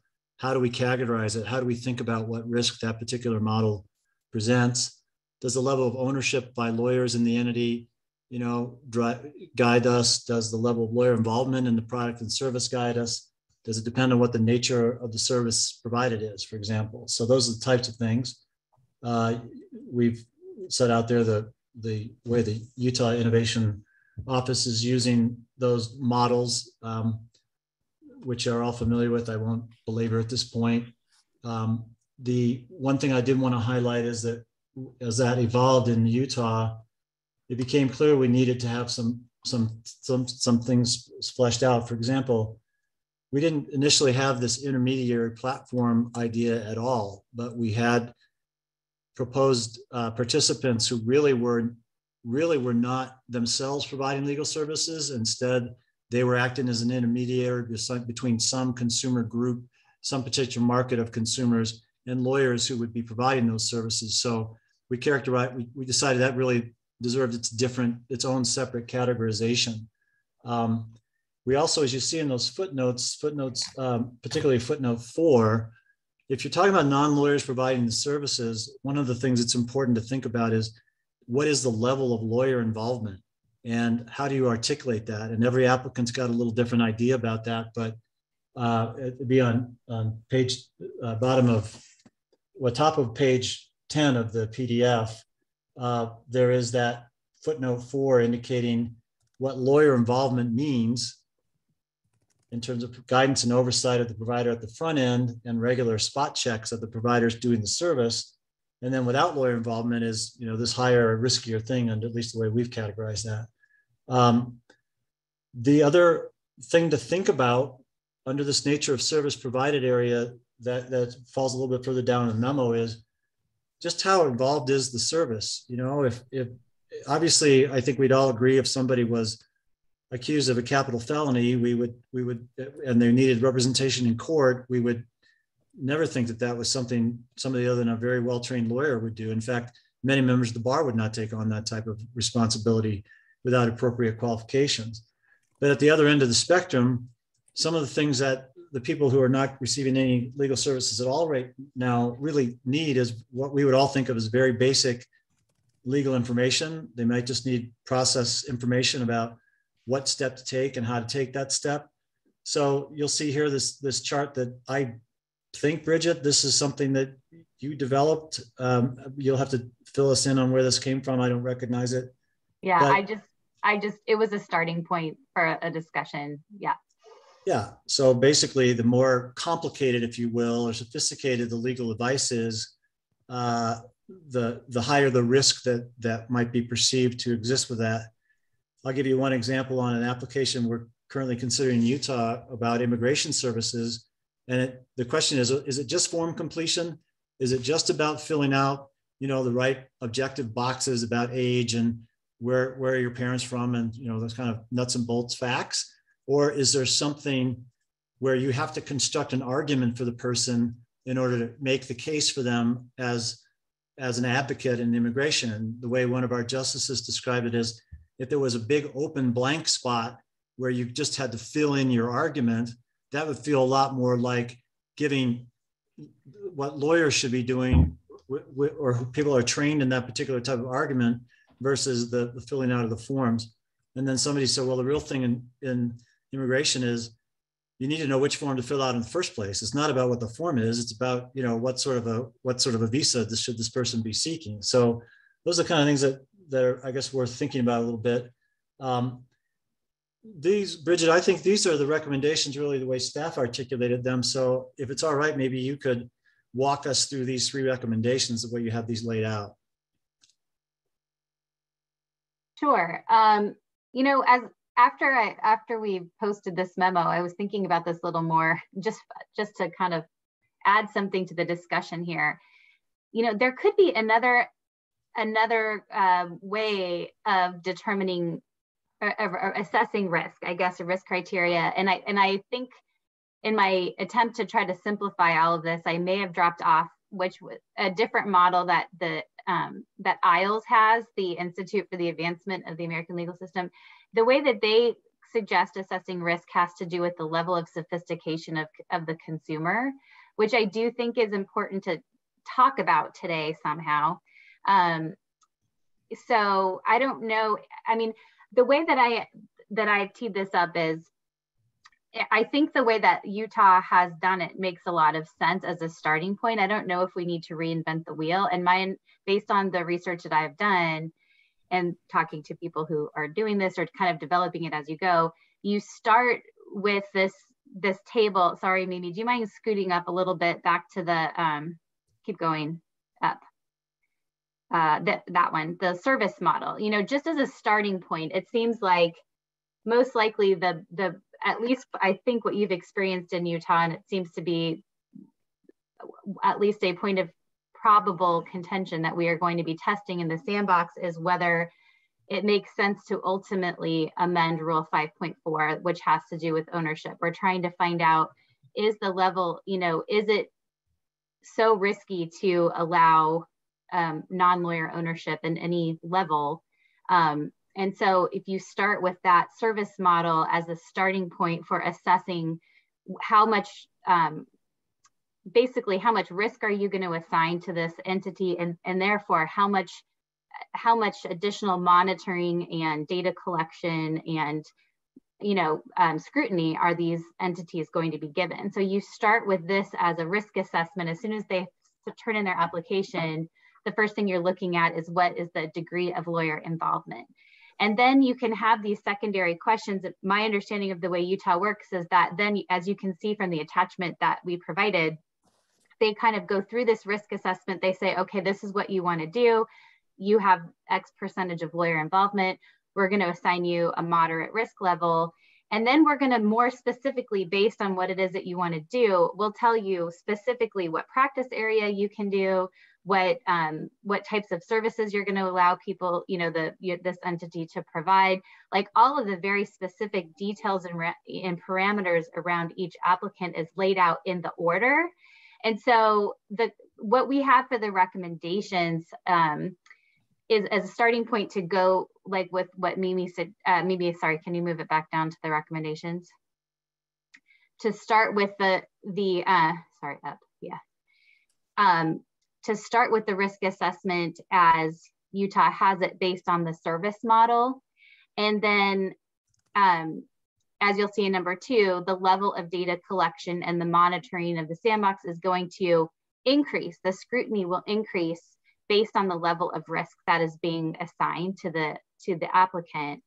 And then the authorization orders are the are the place where the regulator can really customize specifically, and these are all public documents too. So, you know, as, as we'll talk about later, you know, the level of what kinds of disclosures will be required for consumers, how public will this information be, how will people understand what it is that they are and are not permitted to do would be set forth in a more customized way in the authorization orders.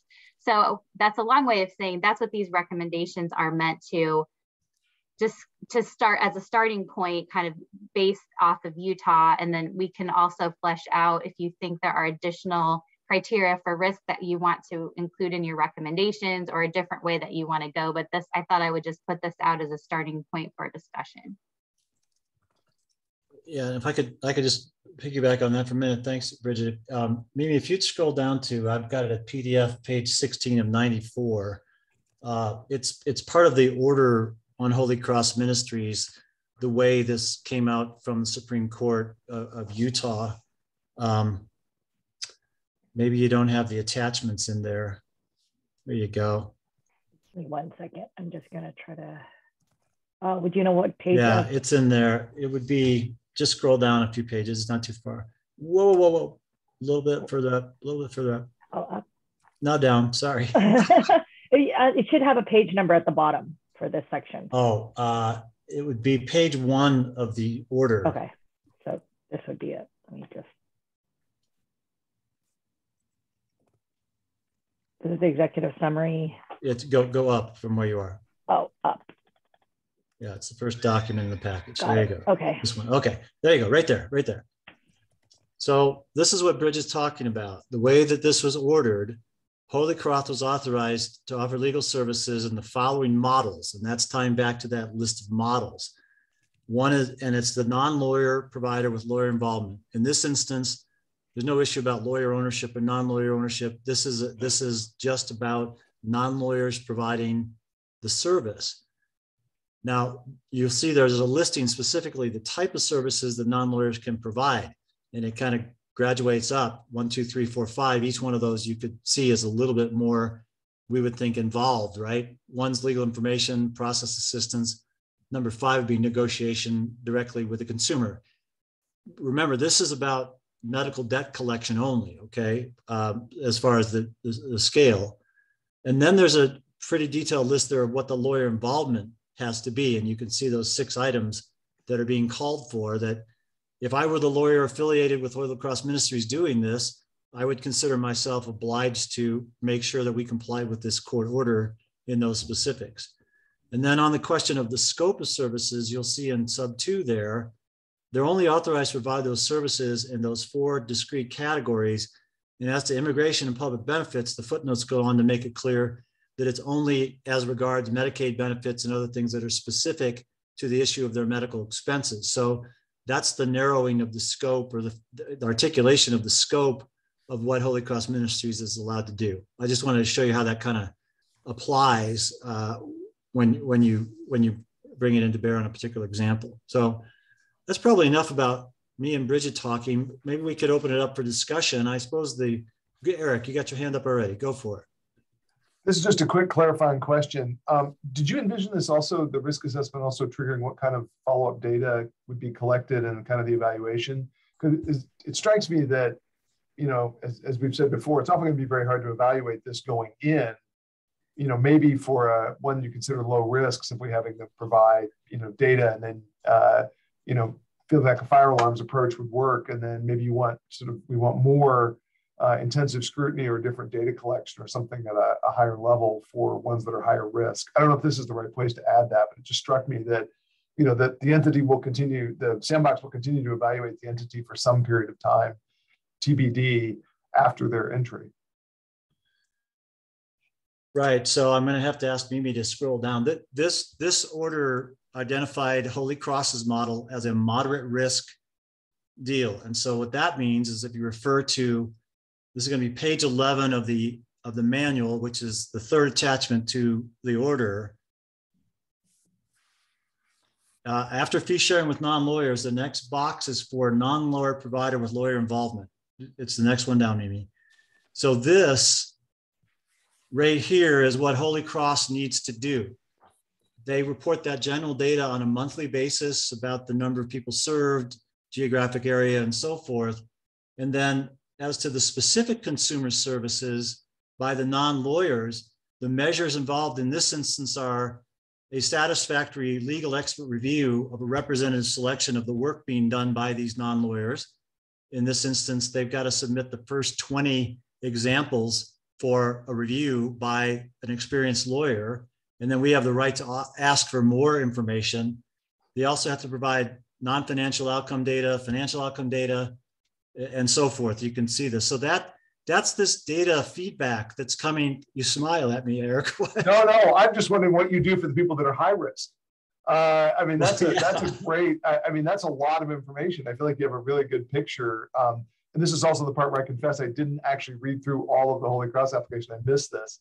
Um, okay. But yeah, that's. Um, I mean, this was kind of what I was thinking of as you know we would you know request something like randomized control trials for the high risk, but um, you know that's a that's a pretty high level of scrutiny in terms of what you're asking from them. Uh, that seems good to me.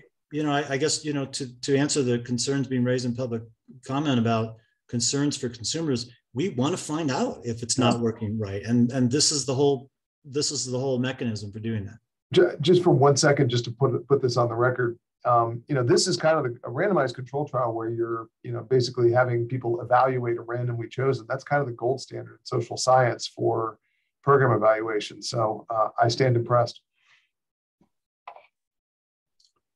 Wendy.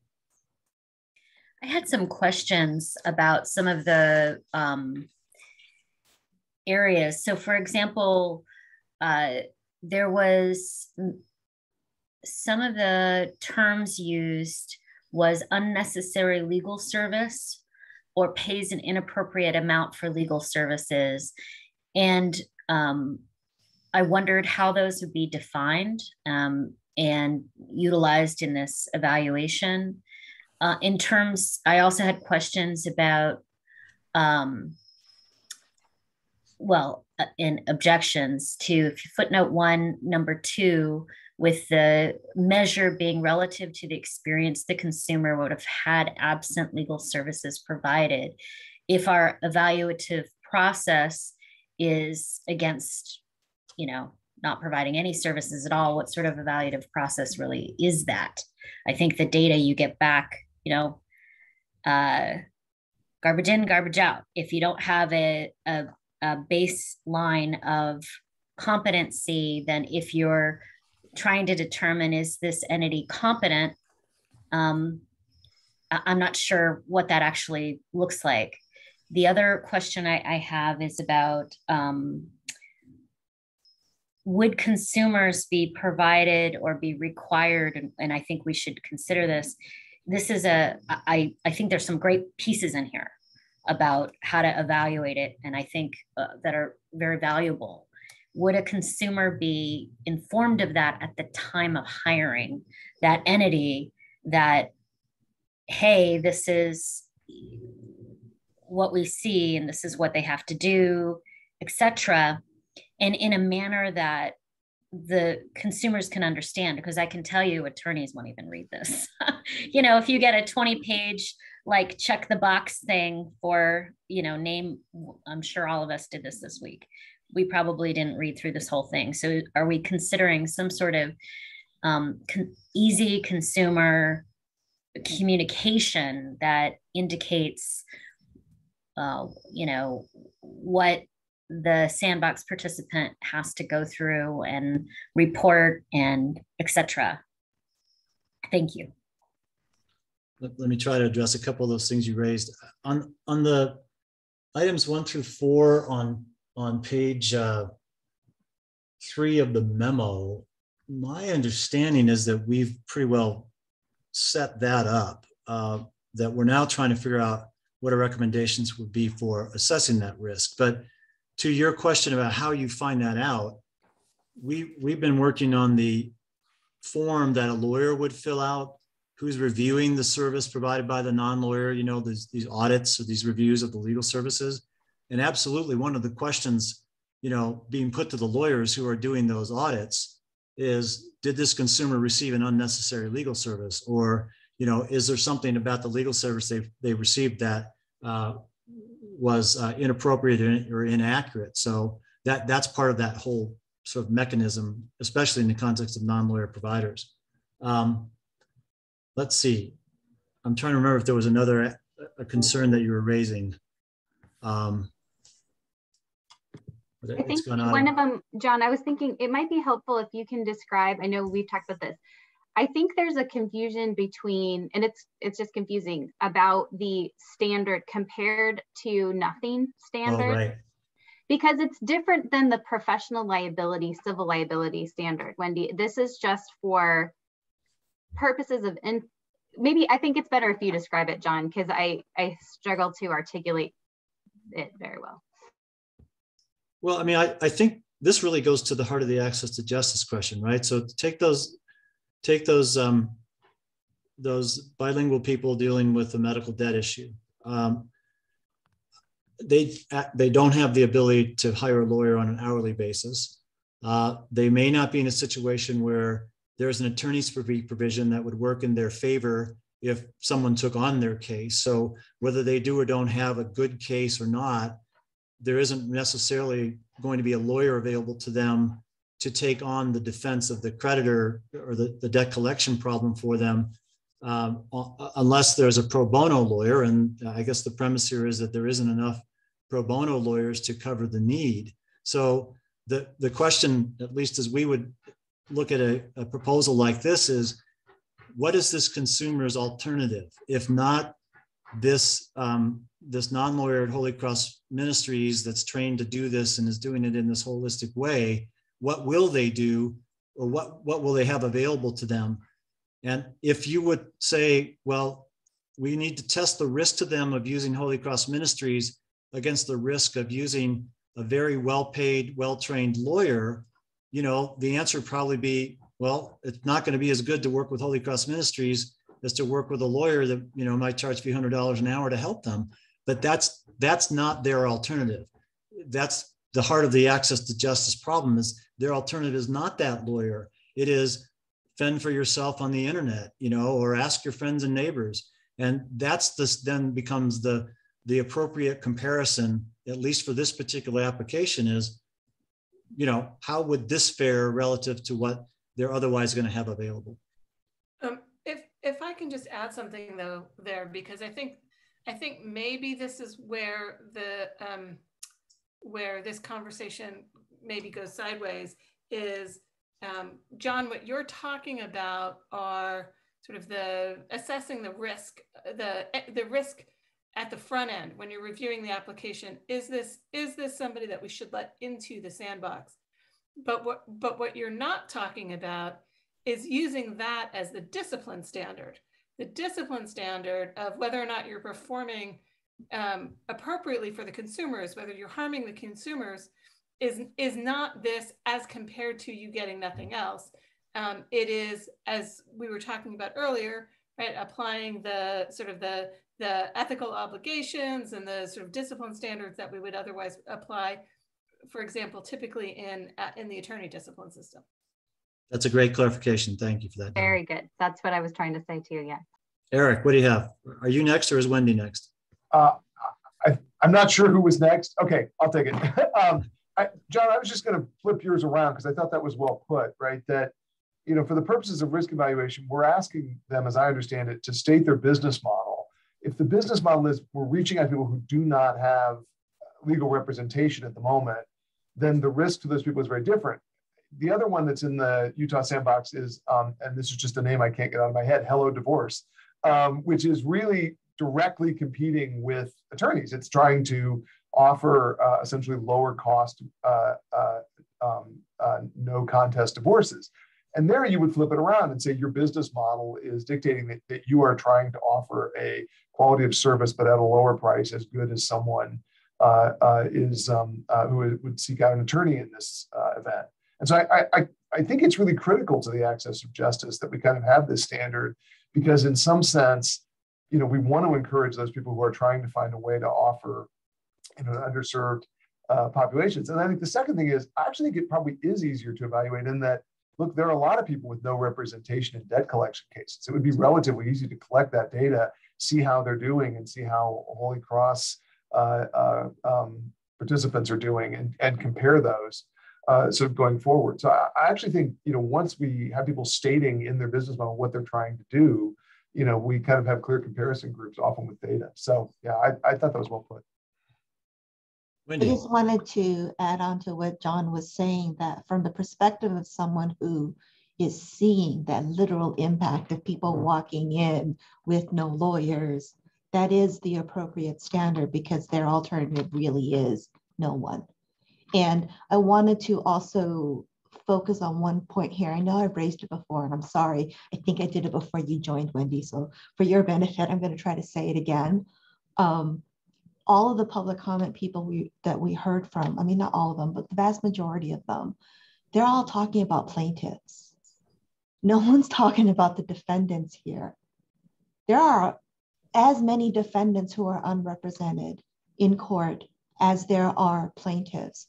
And the defendants have no option anywhere unless they can find someone who is they're not even they don't even have the option of choosing whether or not they got sued right? It's completely involuntary.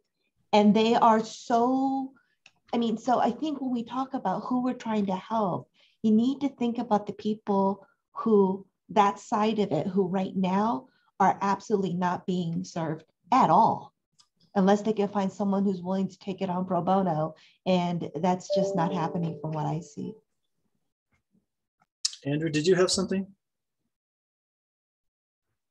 No, it was a thought that then near the end of uh, the last bit of what Eric was saying, he covered well. Okay. Justice Tucker, you have some input into this question about criteria for assessing risk. Do you want to share with the group your your your thinking about that or your ideas about that? Um, I had some reaction to using the chart out of the Utah model. Is that what you're asking about? Yeah, I think so. Yeah. Okay. So I had two points about it, and maybe if we could scroll down a little further. Um, I note that the two points that are high risk here are both uh, services being provided entirely without lawyer involvement. And I know that our task force intends to discuss whether or not we should allow into the sandbox uh, providers who operate entirely without attorney involvement. And I think that there are a variety of views on that.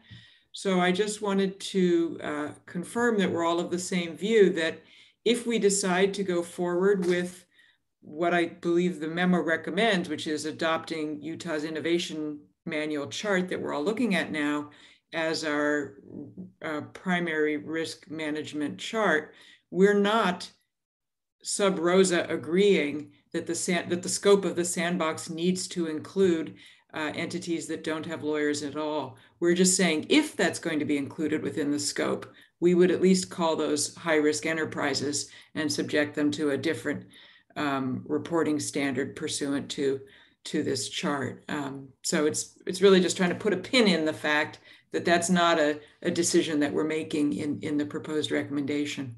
That's my first point. My second point is um, actually harkens back to the last time that I remember we discussed this topic.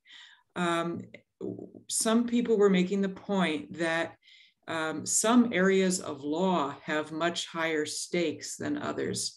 For example, if you're in deportation proceedings, your um, you know the stakes of the representation are a lot higher than if we're talking about um, a breach of contract. Or if you're um, you know if you stand to lose your lose your kids to your ex-spouse or you do or don't get a restraining order those kinds of um, decisions have particularly high stakes. And we talked about whether that ought to be incorporated in our assessment of risk um, and i know that this chart we're looking at that utah uses doesn't go off on that kind of a metric um, and it's not quite the same metric as a, a page or two later, the information Bridget was just talking us uh, through, although there might be some similarity. So I wondered whether um, we wanted to consider uh, a rule that said that you know we would start with this chart on page three as our metric, but where the um, circumstances, where the stakes were particularly high for, for the for the representation that a model on my way tends to offer, um, th- that that would up the ante one. You'd go from being uh, low low risk to being moderate risk if you're in one of these uh, sort of more dangerous areas of, of service provision. Um, and then relatedly, um, if you're operating in an area where the consumer is particularly unlikely to get good feedback about whether um, the services provided were good.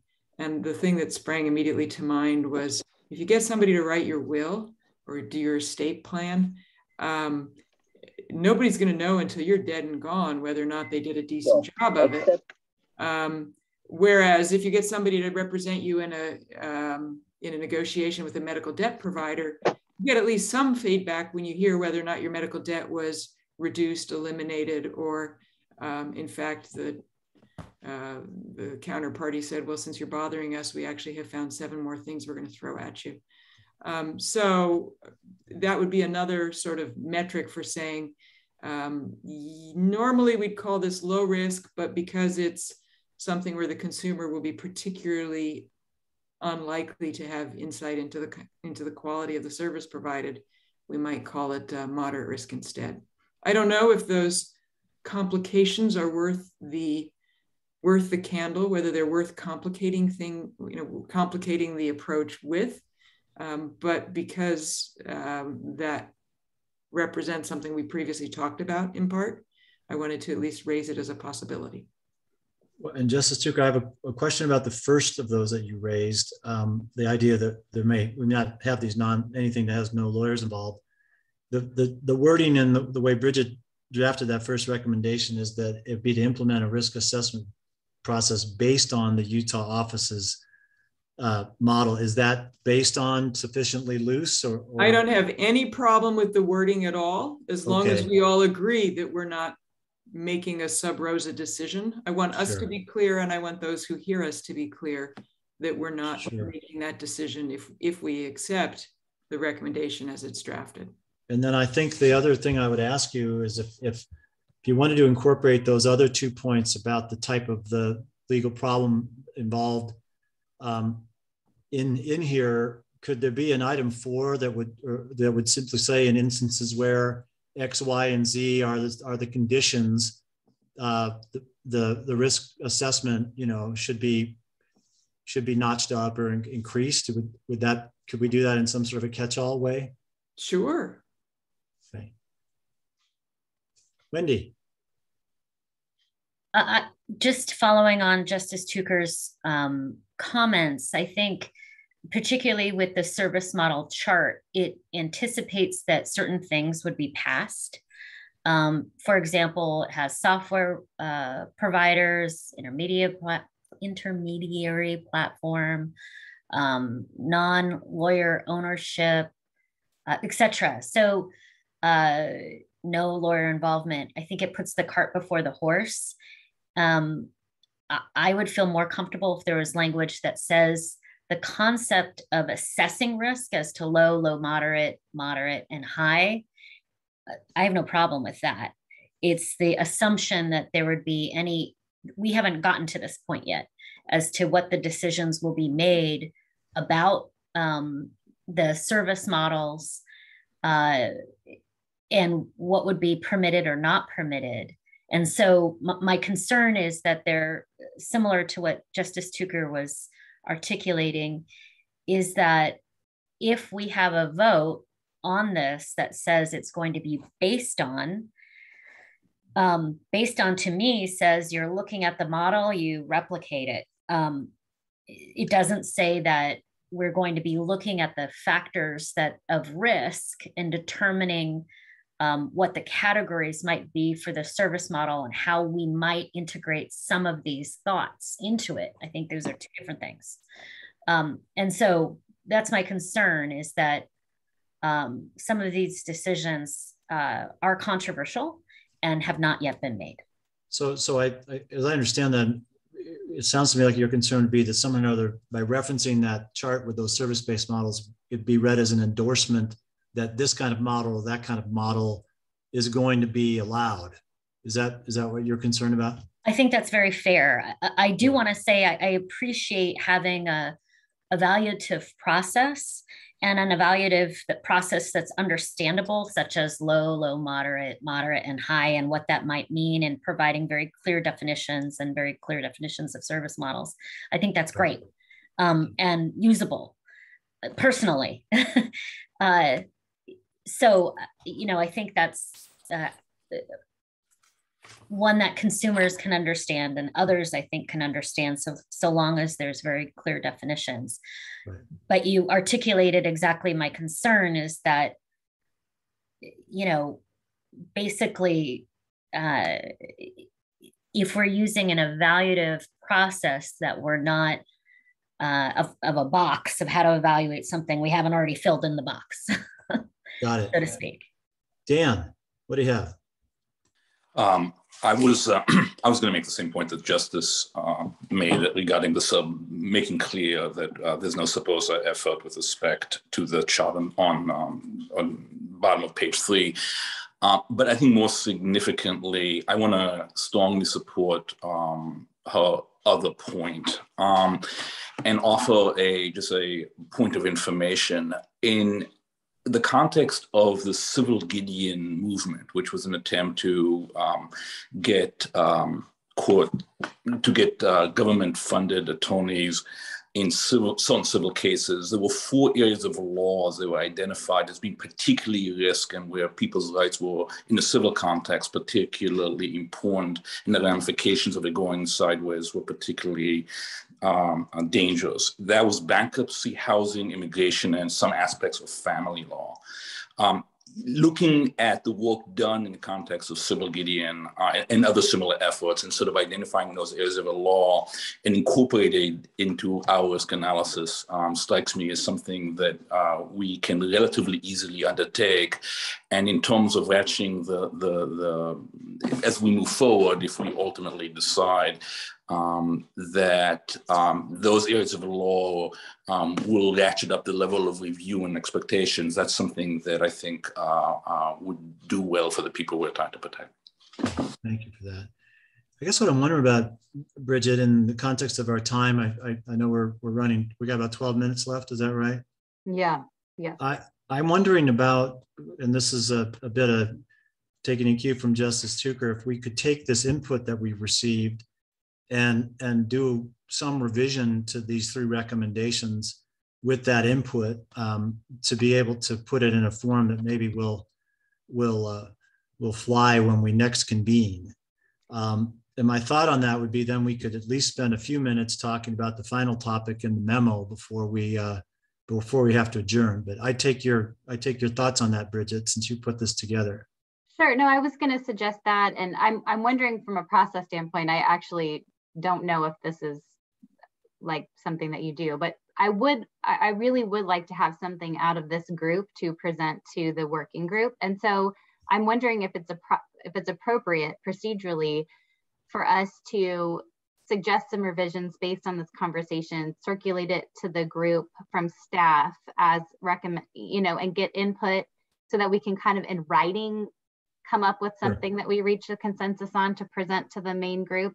I just don't want to put this off and not have something to present sure. to the main group. That's my well. I, I, know a couple things. One, one, I think there is at least one instance where we just kind of fleshed something out after a subcommittee meeting and then presented it to the entire committee. You know, with that, with that, uh, those additional input incorporated, and it was, I think, presented as a, you know, near consensus or you know not not not in the sense of everybody agreed but you know this is what largely reflected the the thinking of the of the subcommittee. That's that's an approach the other approach is to take something to this to the main working group that is you know our our our working draft you know but isn't the final version. I i would probably defer to justice tucker about which direction she'd prefer to see us go on this I would love to see you bring a recommendation, and I think it's totally fine if we leave today's meeting with sort of uh, input for, for staff and committee chairs to make further revisions, and then to present it as your best uh, attempt to crystallize the sense of the meeting. We won't pretend that it was, uh, you know, specifically endorsed, but I think mm-hmm. that's good enough to to bring. So um, I don't know if we're finished on this topic or if there are other comments people want to make about changes they'd like to see to these recommendations before we go to the next issue. But I, I do think it's uh, both very good to bring something to the main meeting for, for the main group to hopefully be able to vote on, um, and that it se seems that we're close enough and that it's fine to follow up, you know, after the meeting. Great. Great. I, I just, for a couple points of clarification, and I, first of all, I just think all of these comments are great and the feedback is so great because this is, as you can imagine, it's just a lot to take in and to try to present in a way that we can all have a discussion about. So this has been really helpful to me as far as figuring out how to how to frame it. And I think I can do that. My went where I got a little stuck before, and I just would like a brief amount of feedback before we switch the next last topic is um, the way I framed this recommendation was let's start with, and I, I, don't think we have to use the term Utah, Utah model, like just based on a, a service model um, and um, even as the primary risk assessment table, right? You start with this, looking at this and saying, based on this first little chart, whatever the categories are, but based on your service model alone, we're gonna assign you to low, moderate, or high to start. And then I, what I don't know is how it would work either like in a matrix or if it's my, my thought was maybe it's just better to say you should also consider these factors like the sophistication of the client, the practice area, to, you know, the stakes that you know involved and the nature of the service involved those should also be considered when making a final determination as to risk. But I can't, I don't, I can't picture the matrix that would be used in that sense. So I guess, I, I don't know if anyone has a sense of we can take that more on a case by case basis, utilizing those factors or, or um, if you think it's better to try to develop some kind of broader matrix. Eric. Bridget, are you really just thinking kind of what would a large two by two look like where you're you're sort of putting these across with the different case types and the different Yes, but my brain doesn't work like that. I, do, I, I can't I, I can't figure that out. Mine does. Feel free to reach out. Okay. That's awesome. And Thank I also you. think just to, as a working principle that, you know, considering those things may warrant increasing the, the, the classification uh, of risk because of those things as a, as a, as a, uh, as a word version of the solution versus a chart might, might be might be sufficient. But if Eric can if Eric can help us master something, Chart, charts I got charts I got. I, I, think yeah, I think we can. I, I I can see something that that might love it. sort of capture both of these. So okay. Any other comments about this subject uh, before we talk for a brief moment about tools? Okay, so the tool project I call I'm being somewhat short, but proactive regulation tools. Um, you know, yeah, tools are good. Let's use them all. It's a good list. You know, that's kind of the general tone of of what we're putting here. Um, and and I, I don't know that anybody would necessarily. I don't think we're necessarily saying yes, let's vote that all of these should be used or, you know, any particular item. It's just develop a good, robust, proactive approach. Um, and I think the other thing to be clear about there is there, this is the proactive approach to regulating, but it doesn't necessarily finish the conversation about compliance and enforcement, right? There's, there's this sort of, we're going to do all of this, even if you're a good actor, but there's going to be some next little piece of information if you turn out to be a bad actor and we need to enforce and comply and, and, and force you to comply in some way or sanction you or whatever it is. So I don't think, Bridget, if I understand this correctly, we've articulated that piece other than to just know that that's out there as sort of the, the last piece of the regulatory activity. Yeah, just that's why I put in the next steps at the bottom of the memo. I right. Okay. Yeah. So this is So- right. This is just the tool. Right now, we're my hope for this discussion was to at least lay these out as possible tools and then see if anybody had any thoughts about whether we shouldn't use any of these or had additional thoughts about other things that we're we might be missing, I think. So input, Justice Tucker. So implicit in some of the tools that are mentioned here is that every sandbox is that there will be some kind of process for complaints to be reported. But I thought it might be worth um, specifically having a topic for complaints because we say that there's going to be a, you know, on the badge, there's a complaint number. So that's complaints made to the sandbox entity. But it seems to me we might want to require every single sandbox entrant to have a robust complaint process uh, that might, you know, that is data that the sandbox entrant, will, uh, sandbox regulator will be able to review, um, and that um, perhaps there'll be a like an ombuds person at the um, at the sandbox uh, entrant that will, you know, engage with those complaints and be a, a good generator of information. So I just thought calling out a, an en- a sandbox entrance specific complaints process would be a good thing. And then my second and last point, uh, secret shopper programs um, seem to me like maybe a backup for compliance auditing. They're sort of an active and a passive way of doing audits. And uh, it seems to me we might not want or need uh, or be able to afford uh, secret shopper uh, review, except in those circumstances where the sandbox uh, regulator felt that compliance auditing was after the fact was somehow insufficient. So I thought there might be some room for moving things around and making that like a secondary thing to the audits. Great. Thank you for that, Wendy. I agree with the first part of what Justice Tucker said about the complaint process. I think that would be great to add. Additionally, I, I would like some clarity about um, the ways in which these entities would market themselves and what would have to be disclosed to the consumers so that consumers, when determining where to go on the marketplace, um, know what they're getting um, and that there be some um, very clear but easy to understand communication so that the um, consumer can make a, a reasoned choice about whether to use this provider or not.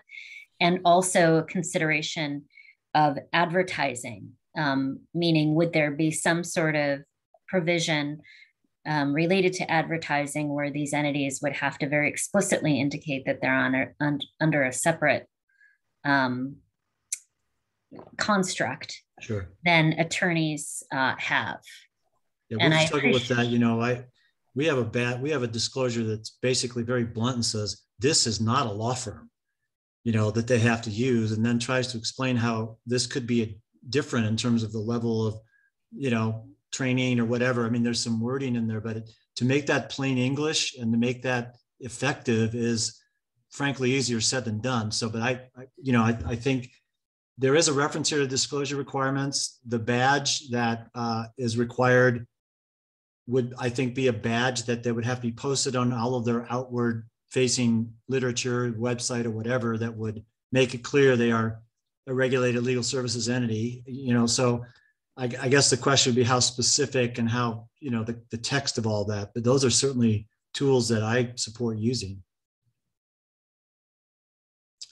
Okay, Wendy, so if you think if you think that the language that we have on there about disclosure and badges should be, um, if you have like suggestions for how I can beef that up for the re recommendation to the working group, just let me know.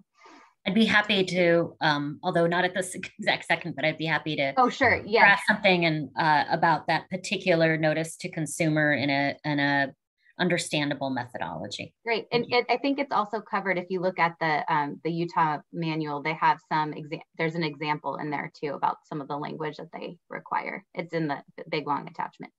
Thank so why why don't we try to take the same approach on this as we discussed taking on the prior regulation or, or, recommendation and see if we can bring something forward to the uh, working group along the lines of what we have drafted here with this input having been taken into account. And I see lots of people apologizing to want to take off. I want to thank everybody for sticking around a few extra minutes and for the good work today. Um, and let's call ourselves adjourned unless there's anything else that we need to raise. Sounds good. Okay. Thank you so much. Thanks, everyone. Thank you. Bye.